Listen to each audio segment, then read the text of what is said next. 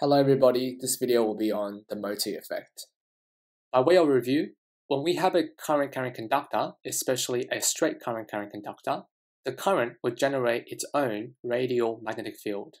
We can determine the direction or the orientation of this magnetic field by using the right hand grip rule, where our thumb will be in the direction of the conventional current and fingers, when wrapped around the conductor, will be indicating the direction of the radial magnetic field.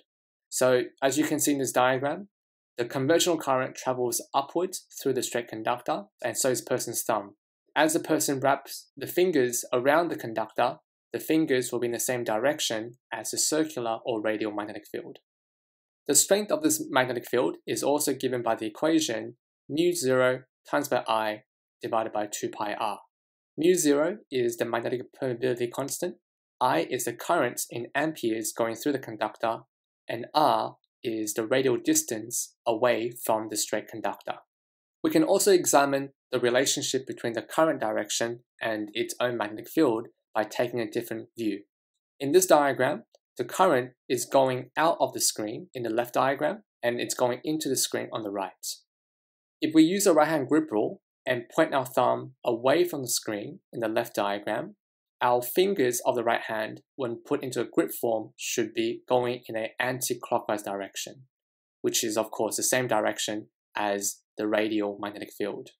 When we put our thumb into the screen, our fingers should be going in a clockwise direction.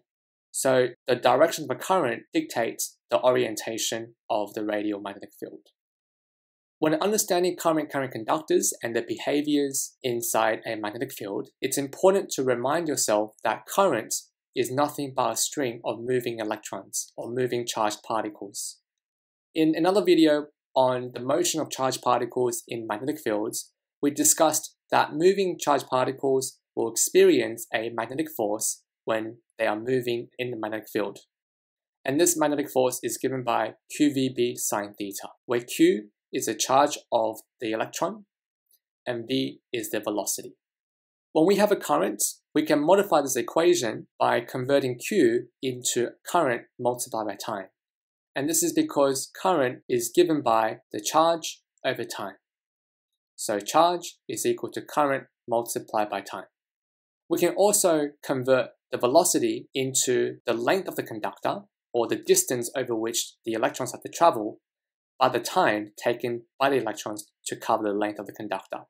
By doing so, we can cancel out the time taken, and this will give us a new equation in terms of currents, where the force acting on the current or the stream of electrons is equal to the current times by the length of the conductor times by the magnetic field strength and also angle theta, where in this case, angle theta is the direction between the velocity of the electrons and also the magnetic field.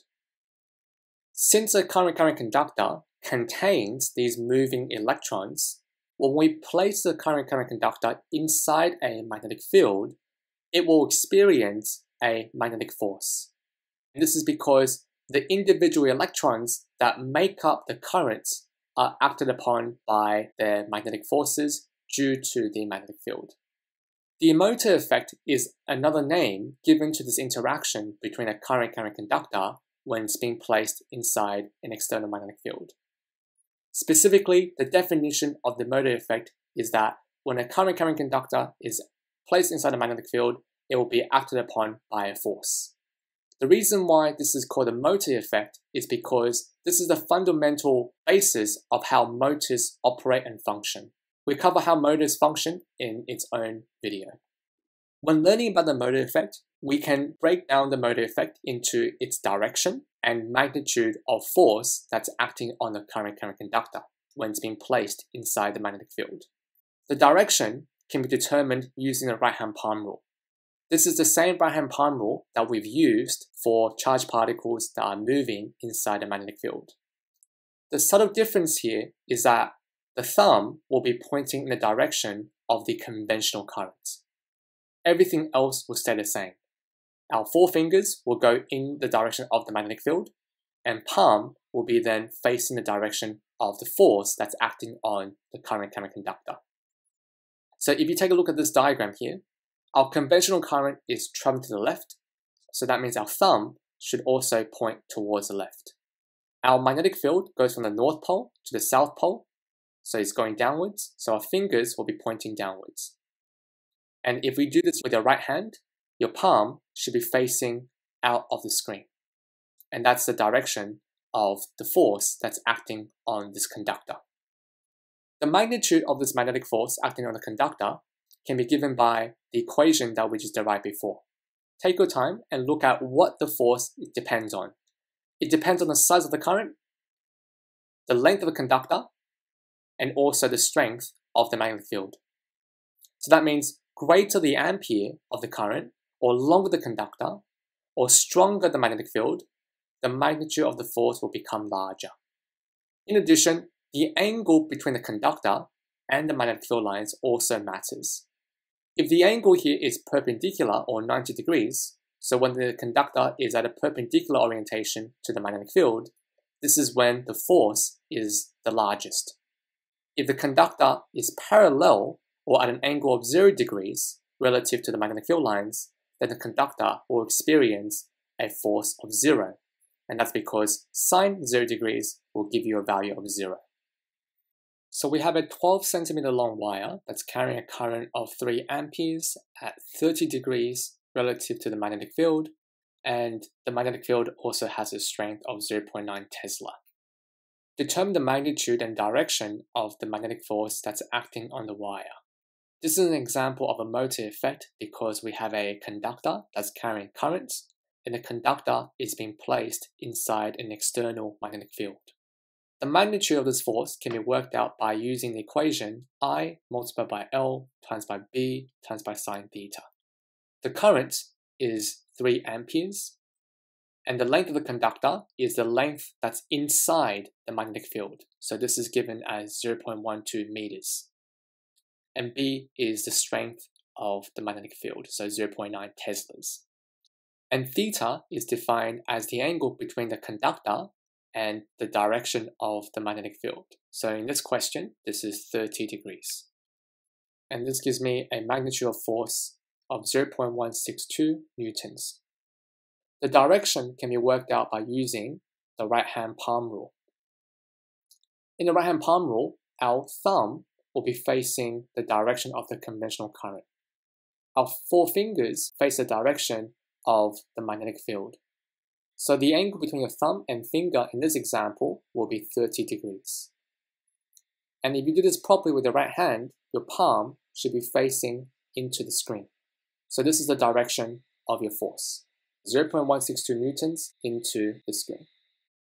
Rod is placed in a uniform magnetic field of strength 0.04 teslas, and a 3 ampere current will flow through this rod as shown. Determine the magnitude and direction of the magnetic force on the rod. We can start our question by writing the appropriate equation. Magnitude of this force is given by ILB sine theta. So the current is 3 amperes. The length is length of this conductor here, which is not directly given. But we can work this out by using trigonometry by drawing a right angle triangle like this.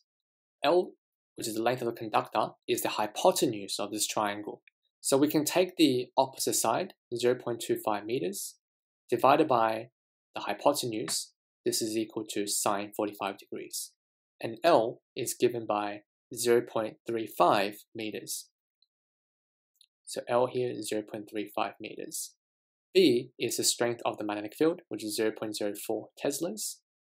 And theta is the angle between the conductor and the magnetic field. Even though the angle given by the diagram is 45 degrees, you must always ask yourself, is this the correct angle for the equation? In this case, the conductor is actually placed in a perpendicular orientation relative to the magnetic field because the magnetic field shown by the crosses are going into the screen. The angle here would be sine 90 degrees rather than 45 degrees. And this gives us a force of 0.042 newtons. The directional force can be worked out by using the right hand palm rule. In the right hand palm rule, your thumb will be going in a diagonal direction towards the top right, in the same direction as your conventional current. Your fingers will be pointing into the screen because this is where the magnetic field lines are going. By doing this, hopefully your palm is facing towards the top left. And this is the direction of your force.